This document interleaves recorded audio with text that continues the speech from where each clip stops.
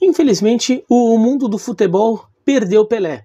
É, o, o maior jogador de todos os tempos, eu, eu, considero dessa forma. O rei do futebol acabou sendo vítima de um câncer que já vinha cometendo já faz alguns anos e a saúde dele se deteriorou, se deteriorou bastante na última década. Né? Ele que durante muito tempo passou uma imagem de muito vigor físico, mesmo depois que encerrou a carreira, ele passava uma imagem de um grande vigor, parecia ainda muito aquele atleta que encantou o mundo nos anos 50, 60 e 70.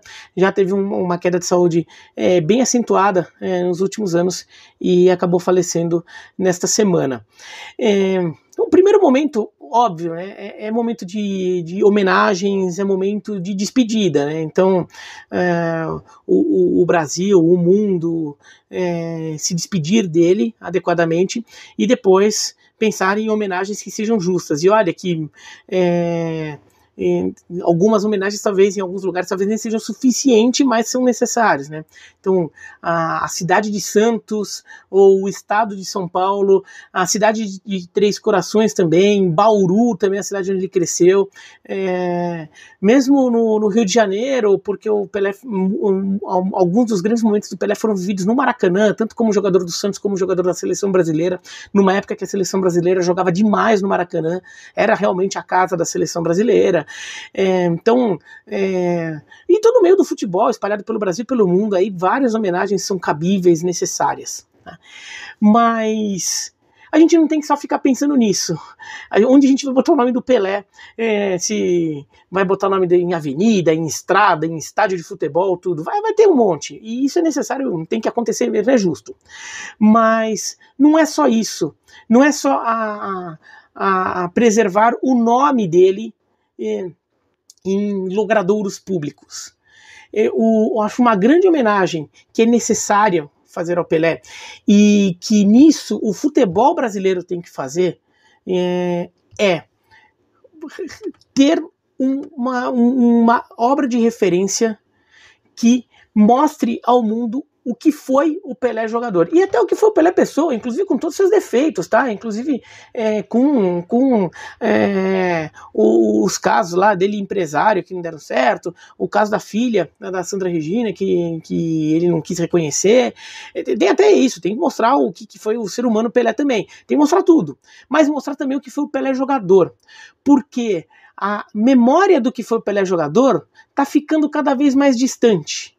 Muita gente que viu o Pelé jogar sentiu o que é, foi o Pelé, viu o tamanho que o Pelé teve, já está eh, já tá ficando para trás. Pessoas que é, já envelheceram, são pessoas que às vezes já não têm, é, não tem voz mais tão forte no debate público, na, pessoas que talvez não, não tenham mais tanto destaque, tanto espaço na mídia, ou pessoas que já morreram mesmo. Muita gente que viu o Pelé jogar já não está mais aqui também. E, e daí muita gente que é, sabe do que foi Pelé já é por base de pesquisa, é, por ter ido buscar, por ter estudado, por ter lido. Até o meu caso, eu nasci em 78. Eu nasci um ano depois do Pelé encerrar a carreira dele no Cosmos. Então, tudo que eu sei do Pelé foi porque eu ouvi de pessoas mais velhas falando, mas também porque eu fui atrás, fui pesquisar tudo. E muita gente também. Mas isso é uma coisa que hum, cada vez menos tem acontecido, né? As novas gerações vão ter outras referências. Então já tem uma geração que tem como referência maior é, a geração, a, a, a, época do Maradona, é, ou a época do, do Zidane, do Ronaldo Fenômeno, e agora do Messi, do Cristiano Ronaldo. Então a memória do Pelé vai ficando para trás. E muitas vezes é, os debates sobre o que foi o Pelé, e daí a questão não é nem se ele foi o maior ou, ou não, o maior jogador de todos os tempos ou não, e eu acho que ele foi, eu considero ele o maior de todos os tempos, tá? Já até abri o vídeo falando isso. É, mas muitas vezes é, essas discussões co começam a se contaminar por inverdades ou argumentos distorcidos, falsos, que muitas vezes tentam minimizar o que foi não só o Pelé, mas o que foi o futebol da época dele. Né? Então, é, na Europa, por exemplo, começou a crescer muito uma versão que ele jogaria contra time de fazendeiros, como se seus adversários do Pelé fossem jogadores amadores. Não eram.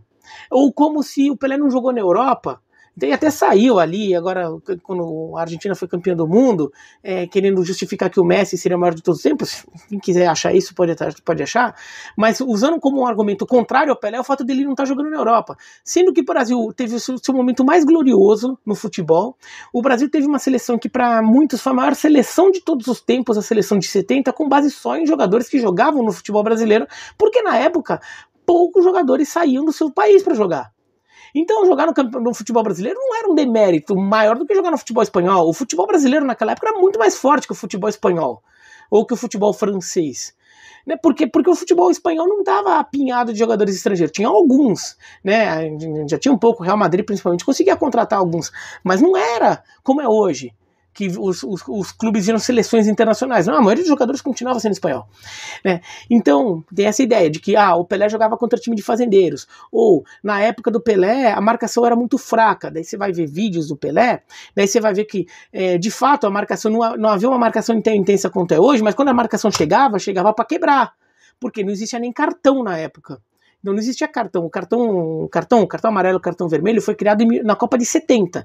Então, assim, o Pelé, é, ele jogou ainda com o regime de cartões no futebol só no finalzinho da carreira dele.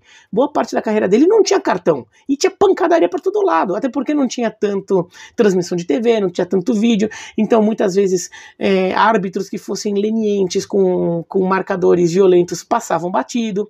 Então, assim, é, um, medicina esportiva naquela época era muito menos evoluída que hoje, então o jogador contundia mais, ou então jogava muito mais no sacrifício do que hoje, porque tinha muito menos cuidado. Daí falam que é amistoso, ah, fez um monte de gol de amistoso. É, amistosos, na época, eram importantes, os, os times, as seleções ou os clubes levavam amistosos a sério porque era uma fonte de renda importante numa época em que não tinha milhões de direitos de TV, numa época em que não tinha tantos campeonatos quanto hoje. Então, uma forma de bombar o seu faturamento era marcar, um, marcar super jogos. Né? Então você marcava super amistosos ali, porque você lotava o estádio, a bilheteria era a principal fonte de renda dos clubes, então você marcava super jogos. Então ganhar, jogar amistosos é, era uma fonte de renda importante e ganhar esses amistosos era importante porque era a melhor forma de você testar. Então tem várias histórias ali que começaram a ser distorcidas. Se você ainda acha que, que achar que outro jogador foi maior de todos os tempos, é uma escolha. Eu, eu, eu, eu, eu ainda vejo o Pelé como o maior de todos os tempos, mas mais importante do que, do que definir, cravar se ele é ou não, é contar direito a história dele. E a história dele está sendo cada vez mais mal contada. Porque a história dele está ficando para trás, está ficando antiga, e muita gente tem é, interpretado o passado, tem interpretado a época do Pelé com o olhar do presente, com os parâmetros do presente, com as referências do presente. Hoje, não jogar na Europa é uma coisa que. É, que pode de alguma forma dizer falar contra sobre o nível técnico de enfrentamento que um jogador tem. Naquela época não. Então certas coisas têm que ser mais bem contadas. E, e até o impacto midiático, o impacto, global que o Pelé tinha. O Pelé, mesmo depois de encerrar a carreira, é, ele talvez tenha sido o único atleta, o único atleta que eu me lembro que sempre foi tratado como chefe de Estado. Quando o Pelé ia para um determinado lugar, ele recebia tratamento de chefe de Estado. Ele não recebia tratamento de um super atleta, de um super ídolo do esporte. Ele recebia tratamento de chefe de Estado. Ele, ele ganha um, um, um, uma honraria. Ele era visto como alguém diferente, como alguém especial. Como se fosse um, um chefe de Estado. E no caso, o Estado que ele representava era o futebol. Às vezes podia até ser o Brasil, mas muitas vezes era o futebol como um todo ele era grande representante global do futebol, era o chefe do estado do país futebol, que é um país é, espalhado pelo mundo inteiro. E isso não vem à toa. Isso vem porque já na época dele ele era muito grande. Ele era muito grande. Então essa história dele precisa ser mais bem contada. E, e, e esse vídeo aqui é para falar isso. É, é, por exemplo, a, a, CBF até poderia apoiar, é, algum grande grupo de mídia poderia, brasileiro ou estrangeiro, preparar um grande material para ser um material definitivo sobre o. Material definitivo é uma palavra meio. um termo meio meio pretencioso, vai, mas um material de referência forte sobre o que foi e o que representou o Pelé. Como, como jogador principalmente. Então, buscando imagens, o, o filme Pelé Eterno ele é muito bom é, na pesquisa de, de jogos, gols, jogadas do Pelé. Mas ele como produto final, ele ainda falha muito. Teve um documentário no, no Netflix, mas o documentário foca muito na trajetória do Pelé em Copas do Mundo. É, é principalmente na Copa de 70. Então esse documentário ele até tem qualidade, mas assim ele não engloba tudo que personagem. Eu imagino que o personagem desse tamanho mereça uma série, uma série de documentários, como o Michael Jordan teve. Né? Então uma série sobre o Pelé com vários, é, com vários episódios. E aí pode ser no serviço de streaming e uma coisa que eu acho fundamental: esse material tem que ser feito no mundo inteiro. Tá? Não adianta só fazer aqui no Brasil, sair entrevistando um monte de jornalista brasileiro ou ex-jogador brasileiro. Isso, tem que entrevistar alguns jornalistas, alguns ex-jogadores brasileiros, quem viu tem que. Mas não é só aqui no Brasil, tem que ir na França, tem que ir na Argentina, tem que ir na Alemanha, tem que ir na Itália, tem que ir nos Estados Unidos né, né o impacto que o Pelé teve nos Estados Unidos, tem que ir na África para entrevistar no México, tem que entrevistar pessoas nesses países, ex-jogadores que enfrentaram o Pelé é, na, na época dele, ou gente que acompanhou o Pelé na, no seu auge, que viu o Pelé jogar, falar o que ele foi, e para ter vozes do mundo inteiro, porque daí, né, se é, tem muita gente que acha que é, é o fanismo brasileiro falar que o Pelé é, foi o maior jogador de todos os tempos. Então, ver um, um, alemão falando, um argentino falando, um americano, um mexicano, um italiano, gente lá falando o que era o ver o Pelé jogar naquela época, o que representava o Pelé jogando.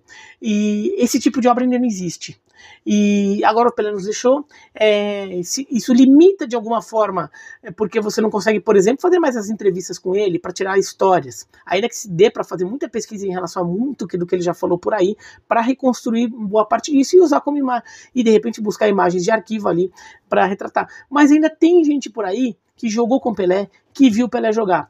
Então, ainda dá para ir atrás dessas pessoas. Dá para fazer um material grande, um material de impacto global sobre o que foi o Pelé porque é, recentemente, ali na semana da final da Copa do Mundo, é, até viralizou um vídeo, que é um vídeo antigo, que já tinha viralizado algumas vezes, mas de novo teve uma nova onda de viralização dele nas redes sociais, que é um vídeo que mostrava grandes jogadas de jogadores é, mais recentes, aí Maradona, Messi, Cristiano Ronaldo, Zidane, Ronaldinho Gaúcho, Ronaldo Fenômeno, é, vários jogadores, é, Bergkamp, Cruyff, vários jogadores dos anos 70 para cá, é, principalmente nos anos 2000 para cá, né? É, fazendo grandes jogadas clássicas dele e, e intercalando com imagens do Pelé fazendo a mesma jogada, mostrando como o Pelé criou, como tudo que é, a gente vê dos grandes craques dos, das últimas décadas fazendo, o Pelé já tinha feito antes. E num podcast do site The Athletic, que é um dos principais sites de cobertura esportiva do mundo, um site que tem um pé no Reino Unido e um pé nos Estados Unidos, num podcast dele sobre futebol, um, um, um dos jornalistas que estava falando sobre isso, sobre o Pelé ser o maior de todos os tempos ou não, ele chega e até fala que, olha, eu, eu é, o Pelé ele paga por muita gente não ter visto o que ele fez. E quando esse vídeo viralizou na semana, né, nos últimos dias ali, com, com as jogadas do Pelé, muita gente reagiu me respondendo: Nossa, eu não sabia. Muita gente. É, é, estrangeiros, né, europeus, americanos, respondeu falando: Nossa, eu não sabia que ele fazia tudo isso. Por quê? Pra gente ver certas jogadas do Pelé virou, virou um, senso comum. A gente vê na internet, a gente vê na televisão, programas históricos, daí a gente liga lá na TV, tá mostrando o lance. Mas lá fora não. Então muita gente não viu as jogadas do Pelé. Tem, por exemplo, o gol contra a Suécia na final da Copa de 58, que ele chapela o zagueiro e chuta, é, chuta de voleio. É, tem gente que não viu esse gol. Esse gol passa direto aqui na TV do Brasil. Por quê? Porque foi um gol de título do Brasil.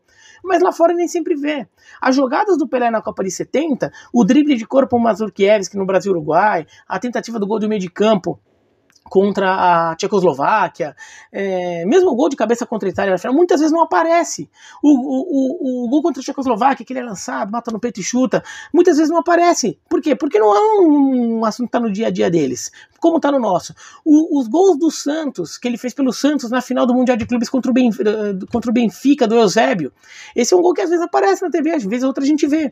Não é um gol que aparece na TV eh, lá fora. Por quê? Porque assim, não, não tem interesse deles em mostrar, entendeu? Eventualmente em Portugal pode mostrar um pouco, mas foi uma derrota do Benfica também, né? Então certas jogadas não aparecem, eles não veem tanto.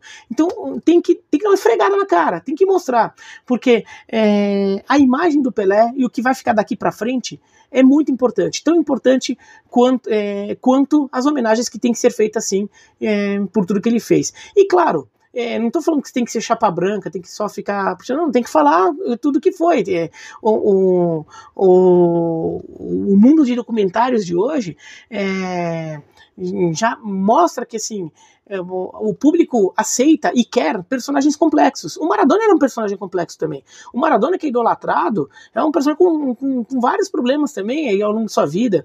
E se pegar os personagens de hoje, o Messi, Cristiano Ronaldo, também tem problemas, também tem problemas, entendeu? Então assim, que, que as pessoas podem levantar, podem questionar certas posturas deles, entendeu? Todo mundo tem, todo mundo tem e tem que ser falado sim, tem que ser falado. A questão aqui é defender, inclusive, a informação correta. Tá? Mas o, o Brasil, de, se, se essa iniciativa não vir lá de fora, o Brasil tem que tomar essa iniciativa, nem que seja cutucando, provocando é, e, e ajudando a, a mobilizar para que esse material seja, porque esse material hoje não existe não existe. Tem o Isto é Pelé também, que é um filme mais antigo ainda, tudo mais assim. Tem um material que é muito antigo e muitas vezes só ficou com impacto local aqui no Brasil. Tem que ter alguma coisa de impacto mu mundial. Como o Last Dance, a última, é, do, do Michael Jordan, teve impacto mundial. Tem que ser algo nesse nível assim, é, para preservar o que, o que foi não só o Pelé, mas o que foi o futebol da época dele. O que, o, e o que, que ele representou, o que, que ele mudou não só no, eh, não só no futebol, mas até na, na vida das pessoas. O que ele mudou, é, o impacto que o Pelé teve na sociedade, que não foi pequeno, não. Se gostou do vídeo, dá joinha, não gostou, dá joinha para baixo, se inscreve no canal, clica no sininho para receber notificação. É só a playlist para quem está com livro para ver vídeos aqui sobre futebol nacional é, terças e sextas, normalmente. Vez outra pode pintar alguma edição extraordinária quando os acontecimentos sugerirem, tá bom?